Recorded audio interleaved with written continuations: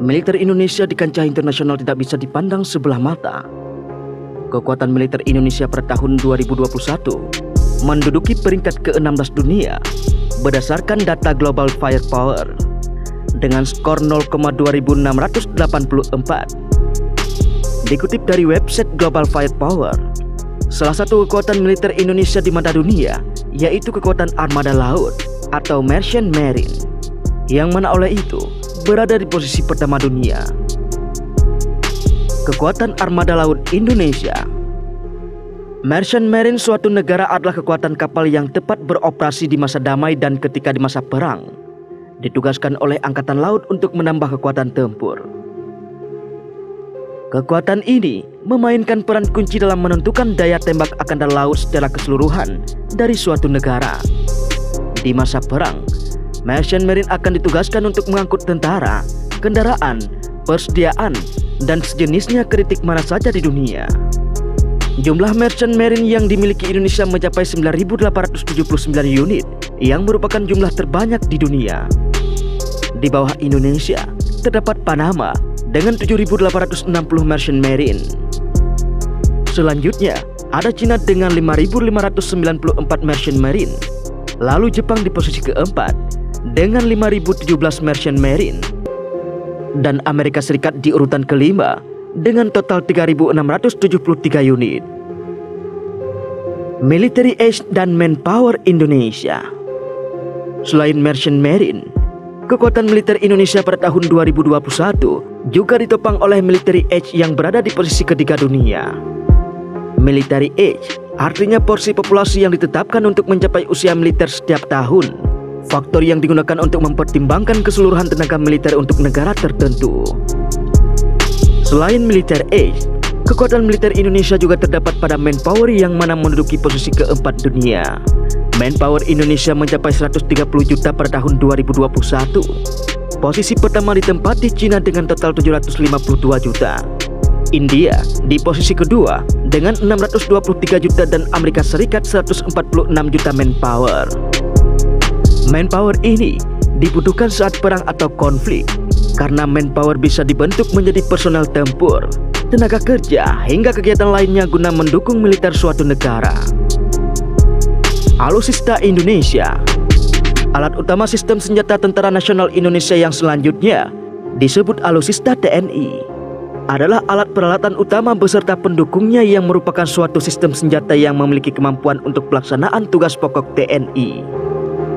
Berdasarkan data Global Firepower, kekuatan Angkatan Udara Indonesia dilengkapi dengan 10 helikopter tempur, 109 trainer, faktor 40 unit, misi spesial 17, helikopter 188, dan transportasi 64 unit. Sementara Angkatan Darat Indonesia dipersenjatai dengan 332 tank, 63 roket proyektor, 1430 armored vehicles, hingga 366 towed artillery. Sedangkan untuk Angkatan Laut Indonesia dibekali dengan 7 frigate, 10 main warfare, 24 corvus, 179 patrol vessels, dan 5 kapal selam. Dikutip dari Permenhan nomor 4 tahun 2019, data alusista TNI meliputi alusista TNI di lingkungan Kemhan, alusista TNI di lingkungan markas besar TNI, Alusista TNI di lingkungan Markas Besar Angkatan Darat, Alusista TNI di lingkungan Markas Besar Angkatan Laut, dan Alusista TNI di lingkungan Markas Besar Angkatan Udara. Data Alusista TNI Angkatan Laut, kapal yang terdiri meliputi kapal Republik Indonesia, kapal Angkatan Laut, kapal patroli keamanan laut, dan kapal tunda. Senjata yang terdiri revolver, pistol, pistol isyarat, pistol mitralier, senapan bahu, senapan runduk, senapan mesin, mortir, senapan peluncur, artileri medan, artileri pertahanan udara, kendaraan tempur dan meriam kubah, dan lain-lain. Munisi yang terdiri atas munisi kaliber kecil, munisi kaliber besar, dan munisi khusus. Pesawat udara yang terdiri atas pesawat angkut taktis, pesawat intai taktis, dan helikopter. Kendaraan tempur yang terdiri atas tank, panzer amfibi, kendaraan amfibi pengangkut artileri, panser roda, kendaraan tempur recovery, dan helikopter latih. Kendaraan bermotor yang terdiri atas kendaraan taktis, kendaraan khusus, dan kendaraan administrasi. Data alutsista TNI Angkatan Udara, pesawat yang terdiri atas pesawat tempur, pesawat angkut berat, pesawat angkut ringan, pesawat intai strategis, helikopter, pesawat latih, pesawat terbang tanpa awak, dan pesawat komando dan pengendalian.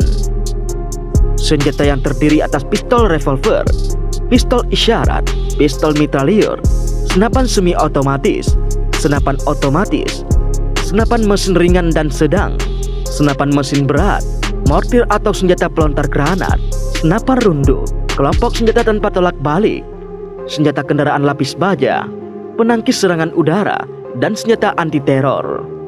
Munisi yang terdiri atas munisi kaliber kecil, munisi kaliber besar, munisi khusus, bom udara kecil, bom udara besar, rudal, roket dan external store. Kendaraan bermotor yang terdiri atas kendaraan taktis, kendaraan administrasi, dan kendaraan khusus. Alat perang elektronika yang terdiri atas electronic attack, electronic protection, dan electronic support Data alutsista TNI Angkatan Darat, kendaraan tempur yang terdiri atas panser dan tank, senjata yang terdiri atas infanteri, kavaleri, artileri medan, artileri pertahanan udara, pelontar granat, anti kendaraan lapis baja atau senjata tanpa tolak balik, lawan tank, dan lain-lain. Munisi yang terdiri atas munisi kaliber kecil, munisi kaliber besar, dan munisi khusus kendaraan bermotor yang terdiri atas kendaraan taktis, kendaraan khusus, dan kendaraan administrasi. Alat optik yang terdiri atas kompas, teropong 7x50, teropong 6x30, teropong bidik siang senapan, atau teropong bidik malam senapan, night vision goggles, bosol, teleskop, periskop, dan alat bidik. Pesawat terbang yang terdiri atas heli serbu, heli serang, heli latih dan sayap tetap, alat angkut air yang terdiri atas kapal, kapal motor cepat, kapal motor cepat lain-lain, landing craft rubber, motor air, outboard motor, dan pelampung. Nah, itulah kekuatan militer Indonesia di mata dunia tahun 2021.